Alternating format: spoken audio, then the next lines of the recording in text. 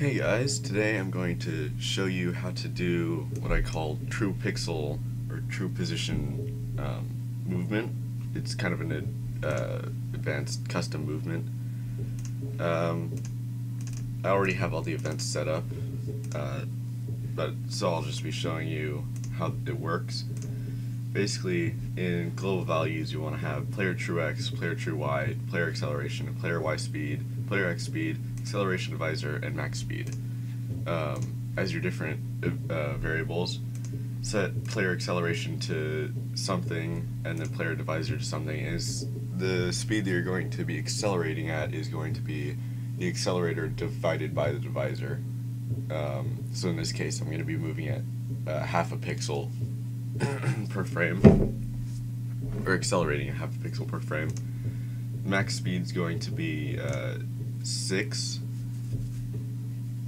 and for the purposes of showing this, I'm going to set the accelerator to 2. Um, in moving, start a frame, set true x to x and true y to y, just so you start where you put your object.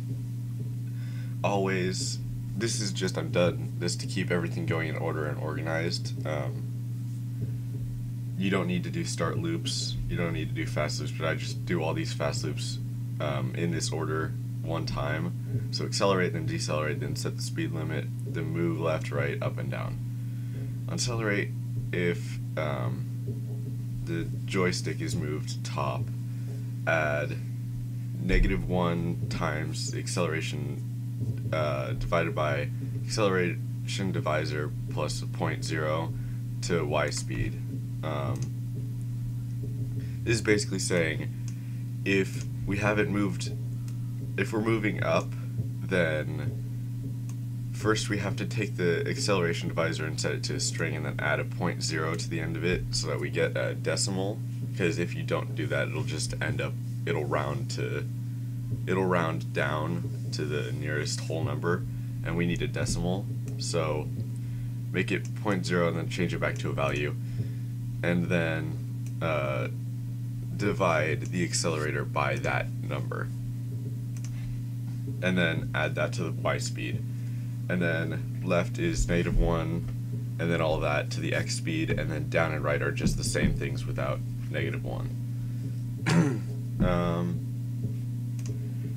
on decelerate, if the joystick is not moved up and the joystick is also not moved down and y speed is greater than zero, then basically just make it. You can copy what is um, moved down. Just or.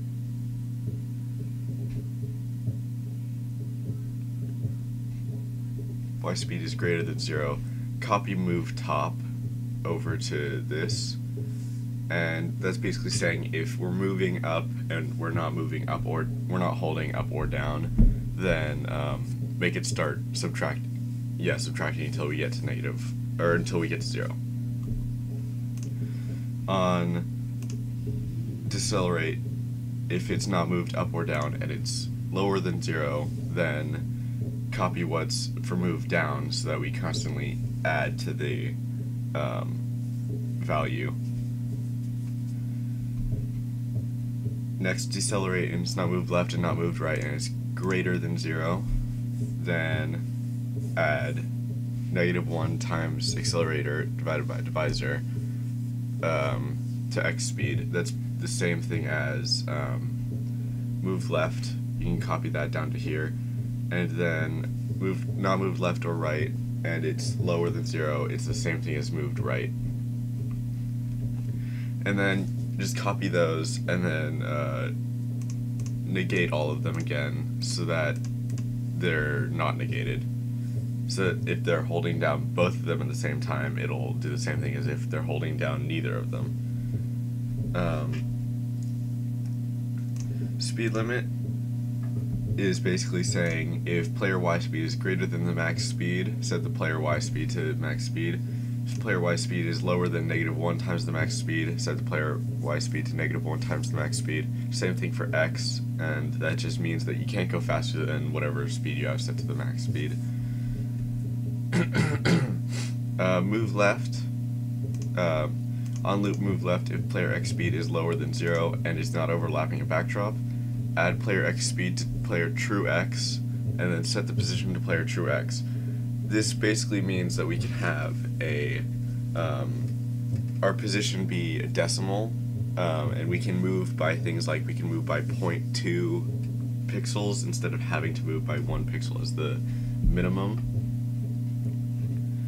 Uh, and then do the same thing for x speed is greater than zero and y speed lower than zero. Y speed's uh, greater than zero for right, up, and down. And then for the y speeds, add y speed to y true x, uh, and then set the y positions to the x positions. And then copy those, and then make it so that if they do overlap the backdrop, um, that you're adding the x speed times negative 1 and then setting the position again and then x speed times negative 1 the y speed times negative 1 y speed times negative 1 and then set the y position again basically that means that if you're overlapping backdrop it'll try to push you back to wherever you were uh, before you were overlapping it. So now if you run the frame you can see I'm getting kind of lower FPS because of I'm recording. Um, but as you can see, I am moving slower than my Y speed is kind of odd actually. Don't don't know why it's setting it to such a oddly low number.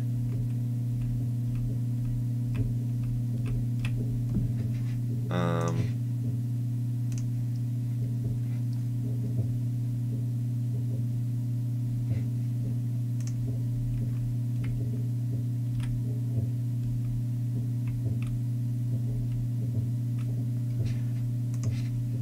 maybe you just can't have the values be too low because I tried this at 0.5 and it worked fine.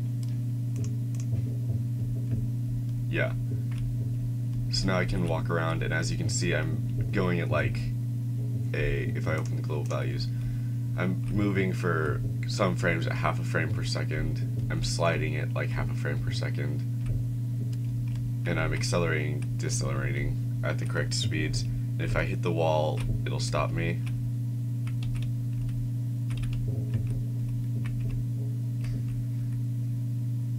And I can hit it on all sides and I can't go through it.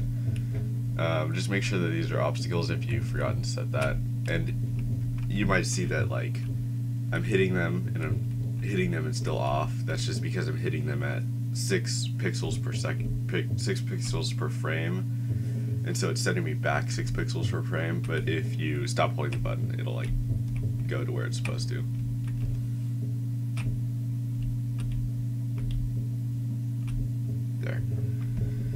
So thanks for watching. You can find the example in the link in the description. And I will see you next time.